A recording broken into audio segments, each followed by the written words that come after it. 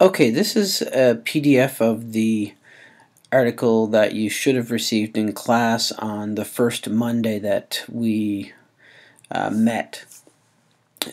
What I'd like to do is actually take you through the activity that we either did or would have done in class and um, give you a sense as to how to start looking at these and evaluating these. If you don't have a copy of the article, the PDF is available to you in Blackboard. And um, so what I'd like you to do first is I want you to take eight minutes and time yourself with this. So pause the video right now and take eight minutes to read through this article. You'll note that including references, it's uh, 23 pages in the PDF. Um, but if you're noticing that each of the PDF or printed version pages are actually two pages in the journal, so that means that the article is about 45 or so pages including its references. So what I'd like you to do, as I said, pause the video now and then read through the article or take eight minutes to read through the article. So stop wherever you happen to be at the eight minute mark.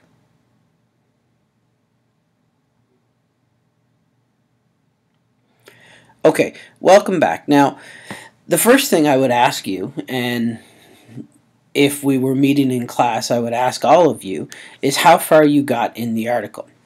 And we would actually go for a specific number of pages. Now, if you started at the beginning, so if you started up here in the abstract area and you started to read through in a linear fashion, my guess is that you probably only made it to somewhere around these tables here, maybe a little bit before, a little bit after.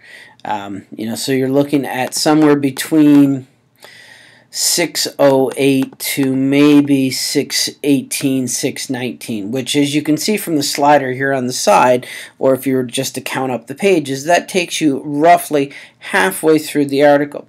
Now, keep in mind the fact that you've got a lot of reading to do over the next six to eight weeks as you prepare for your ability to write your literature review. You don't have the ability to spend hours upon hours or even, you know, 15, 20, 30 minutes per article to determine whether or not an article is going to be useful to you for your literature review. Now, for the ones that you determine are useful, so the actual 25 or 30 or 35 that you're going to be using in your literature review, those are ones you're going to want to read more carefully. But the ones that you're just looking through now as you're scanning to determine is an article relevant and as you're looking through, say, for example, to do the annotated bibliography that's coming up in a few weeks' time, there are a couple of skills that you want to use, or a couple of shortcuts, if you will, that you want to use. The first shortcut is pay attention to the abstract. The abstract, in most cases, will give you what the author thinks are the main things that are in the article. Now, there are certain unwritten rules about an abstract. For example, what you tend to find is that most abstracts will try to situate the research problem in a larger context. So this may be in terms of talking about the, the literature or talking about the field in general.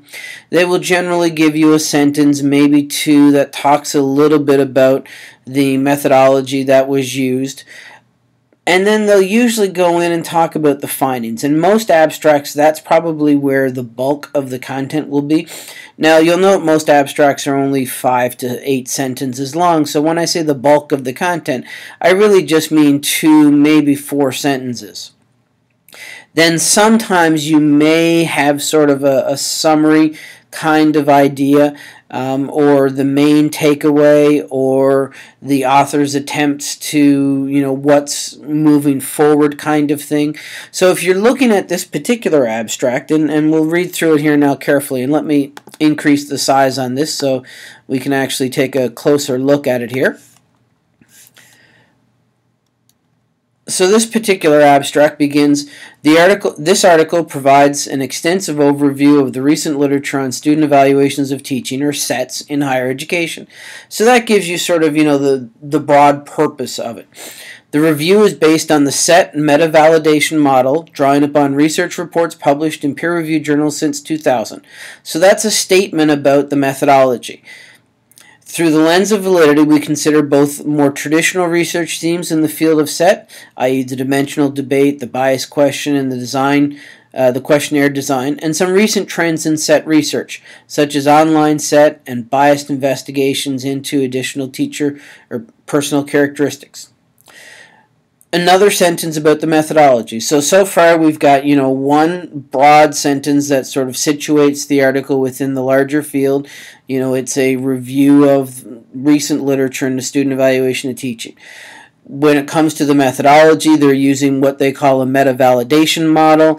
Their data are peer reviewed uh, research reports from journals since 2000. Um, they are specifically looking at issues such as dimensionality, bias, questionnaire design, as well as online SETs, bias investigations into person teacher characteristics. You know, so these are some of the variables that they're looking at. Moving on.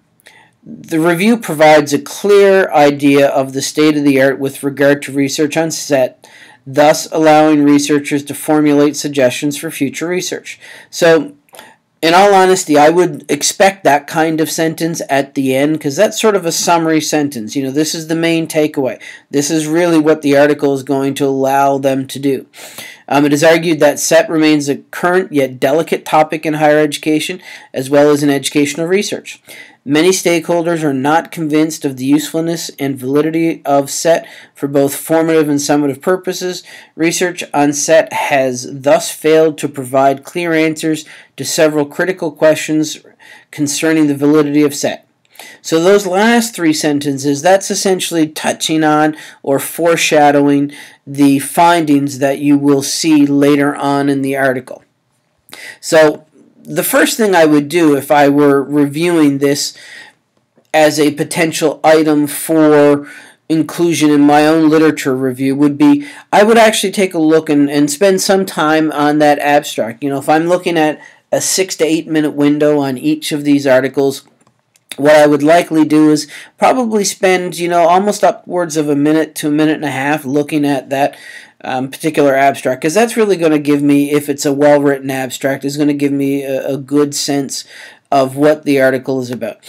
Now, in all honesty, the next thing that I would do if I were reading this article is I would skip all of this stuff and I would go down to page 629.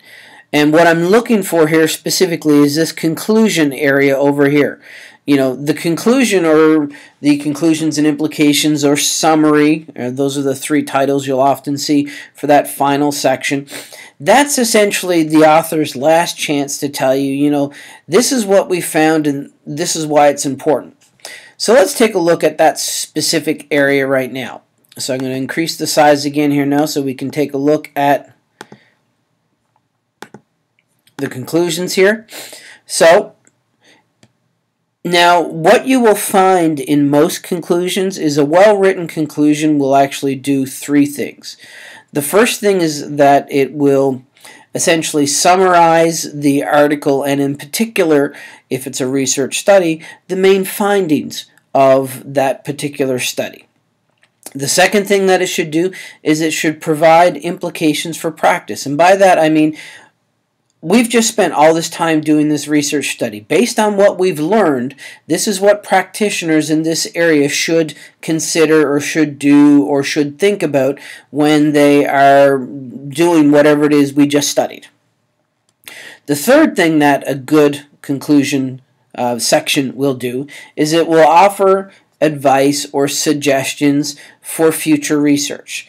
You know, again, we've spent all this time researching this particular study we spent all of this time researching this particular study. Based upon that research, this is what we think the next set of studies or the next study should be about. You know, so if you've got a well-written conclusion, they'll do those things. Not all conclusions are well written. You know, so if we look at this one, for example, this review of the state of the art in the literature has shown that the utility and validity ascribed to SET should continue to be called into question. Next to some, although much researched topics such as dimensionality debate and the bias question, new research lines are delineated. That is, the utility of online SET, teacher personal characteristics affecting SET, our systematic use of the meta-validity framework of Onwuegbuzie et al. or and colleagues, 2009, however, shows that many types of validity of SET remain at stake. Because conclusive evidence has not been found yet, such evaluations should be considered fragile as important stakeholders that is, the subjects of evaluations and their educational performance, are often judged according to the indicators of effective teaching, in some cases as a singular or single indicator, the value of which continues to be contested in the research literature. So if I'm looking at this particular conclusion, these first few sentences, where it starts off the review of the state of the art in the literature, right up until the validity of, uh, sorry, many types of validity of SET remain at stake. So those first three sentences, that really summarizes the article and summarizes the author's findings. You know, this is essentially what they found. So what they're telling you, without having read the rest of the article, is they used this meta validity um, technique, which they told us back in the abstract they were going to use. And based upon that, they found that there's a number of questions that still remain when it comes to the SET based upon the data that they have. Um, you know, while there seems to be a couple of topics, the dimensional debate and the bias question, that have a lot of research done on them. Things like whether or not the online version of student evaluations of teaching or whether teachers the teacher's own personal characteristics affect their student evaluation of teaching. Those things, while they have some research, they don't have a lot of research. And in all of those four areas that they specifically mention, when you look at whether or not the student evaluation of teaching is a valid measure, well, based on their results, that's they're not really finding that at this stage. You know, so that's what these first three sentences are saying. If you look at that last sentence, the one that begins because conclusive evidence. Now, it's a kind of long sentence. They could have cut it up a little bit, but essentially that is their implications for practice. You know, basically what they're saying there is because we found that you know student evaluations of teaching may not be the best measure of whether or not someone's a good teacher. Um, at least based on the research there's still a lot of questions about this. Maybe the folks that use these things for example the students that fill them out the teachers that review them as a way of you know changing their practices or um, you know, adjusting their course design, or for that matter, their administrators that use them to evaluate those teachers, you know, maybe all of those people should think twice about whether or not this is really a useful way to determine whether or not someone's a good teacher. And, you know, as they, they don't come quite out and say it, but, um, you know, this idea of are often judged according to indicators of effective teaching, in some cases a single indicator. What they're suggesting there is that, you know, in many cases, the student evaluation of teaching is the only thing we use to determine if someone's a good teacher in higher education. And they're suggesting maybe we should think twice about that. Now, you'll note the one thing that they don't do is they don't provide any um, suggestions for future research, but that's okay for our purposes because, you know, essentially we've gone now, and you know the actual text of the article is 31 pages if you exclude all of the references. And really, in a couple three minutes, because you will probably spend another minute or so on the conclusion, depending on how long it is. This one probably about a minute. Other conclusions may be a little bit longer, because um, oftentimes they'll be two or three paragraphs. And, you know, but in that two or three minutes that we've spent, both just with the abstract and with the conclusion, we now have a pretty good sense of what this article is not only about, but what this actual study found. Now, in all honesty, for you guys, as you're reviewing the, um, you know, dozens or hundreds of results that you get as you are searching the literature in these first few weeks, one of the things I would recommend is if you've read the abstract and you've read the conclusion, and you can determine right now that this article isn't that useful to you or isn't useful to you at all, I would stop reading at this point. Um, you know, because really it's a waste of your time to go any further. Now, if as you're going through, in that abstract or in that conclusions there was something that you read that was of interest to you. Chances are that it was well not chances are i can almost guarantee that it was primarily focused upon the results. So if i did come across something that was of interest to me um, as i read through there and being you know faculty member in higher education, this is obviously a topic that is kind of of interest to me, whether or not the student evaluations of teaching that you do at the end of every semester um, are really a valid measure of how good a teacher I am and whether or not I should be adjusting the way that I teach and also adjusting the nature of the course content based upon the suggestions you have. You know, so in that respect, you know, for my own purposes, this would be an article that, hey, yeah, this has some interest to me. So what I would actually do then is I would go back to the results. So they begin on page 602 here. And I wouldn't read through these. What I would do is I would start skimming through these. Um, you know, because there was something that I read in the abstract or something that I read in the conclusion that got me interested in this particular study. So now I'm going to skim through pages 602 and 603 here, and then I'll skim through 604 and 605. Um, 606 and most of 607 is a table, so I likely probably would skip over that. I'd skim through 607. I'd skim through 608 and 609. As you can see, 610 and 611, as well as 612 and 613, 614 and 615, and 616 are all a table, so I'd skip all of that.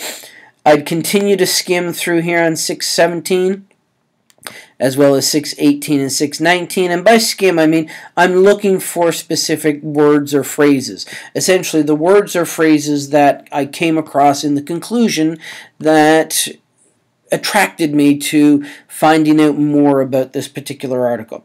Um, so I'm again just skimming through, looking for those words, you know, in 620 and 621, as well as 622 and 623, and then 624 and 625. And then I hit 626, and that's really where the results section ends. So you see here on the bottom of 626, there's a discussion section, and that's where the results have stopped. So once they hit the discussion section, what they're essentially doing then is they're discussing what they found in light of what was already known. Essentially, how did the results section jive with the literature review? So you know, I've got probably about 10 pages or so there that I'm going to be skimming, um, but mainly, like I say, skimming, looking for specific words or phrases that got me interested in this topic. Unless this study was exactly what I wanted to do. Like if I read the particular study and said, "Hey, I would, you know, this is what I'd like to do my thesis on. I'd like to replicate this study in my particular context or in my particular um, classroom or my school or my district or what have you." That's really pretty much all I would read in this particular article for the purposes of writing a literature review.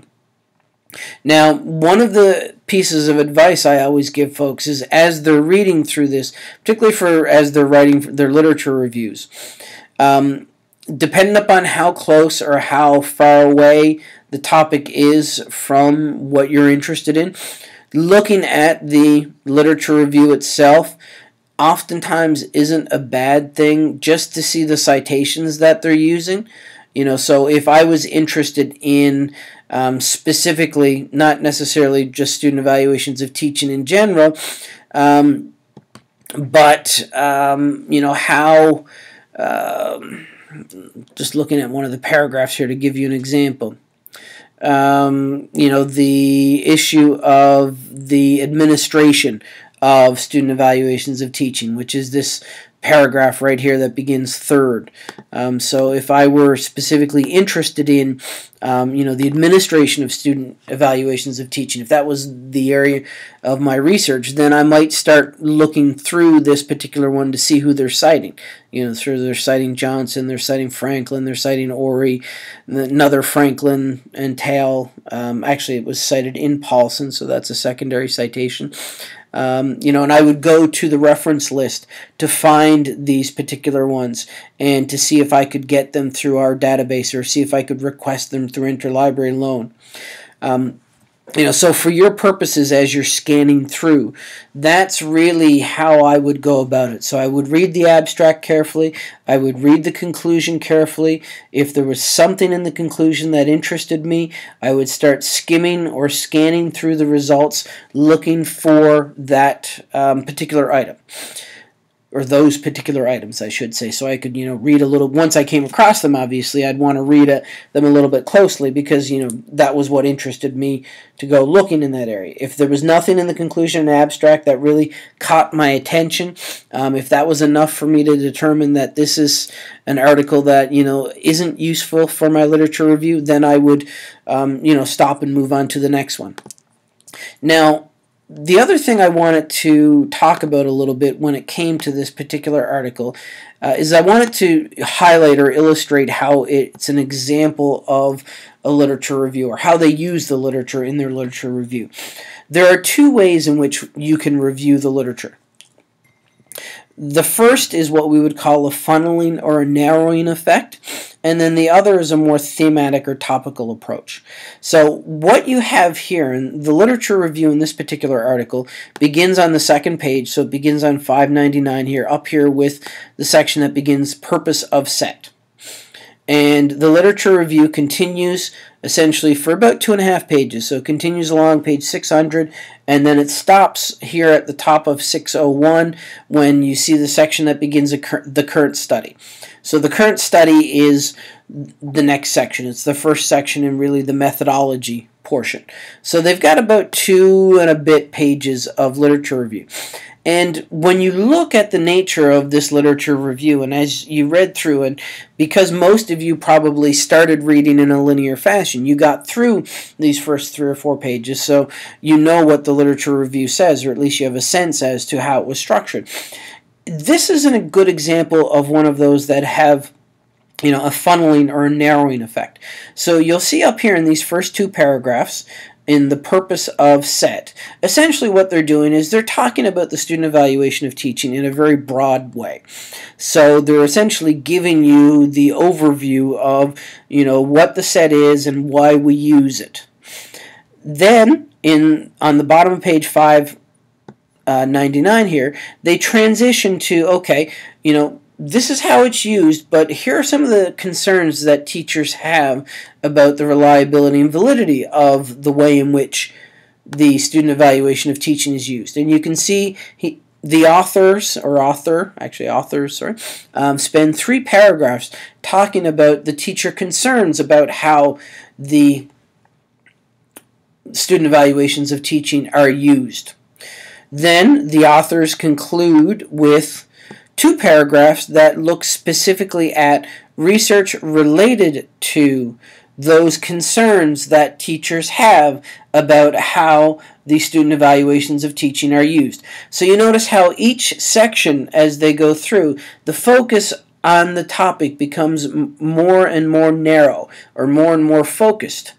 And that's one way in which you can uh, do a literature review. Now, when you're looking at for the purposes of a thesis or dissertation, this tends to be the minority in ways in which it's done. The thematic or topical way tends to be the more common way. And for most of you in the class, it'll likely be that case. But for, you know, anywhere from a quarter to a third of you, you will find that the nature of your topic and the way in which the field around your topic develops, it will allow or facilitate that kind of narrowing process. So, this is the sort of first introduction that you have to reading these articles. Um, we're going to do another one here now in a second, and once we get that one done, um, hopefully that'll help you over the next few weeks as you start to put together the data essentially or the evidence that you're going to use for your literature review uh, that you'll begin writing about halfway through the course.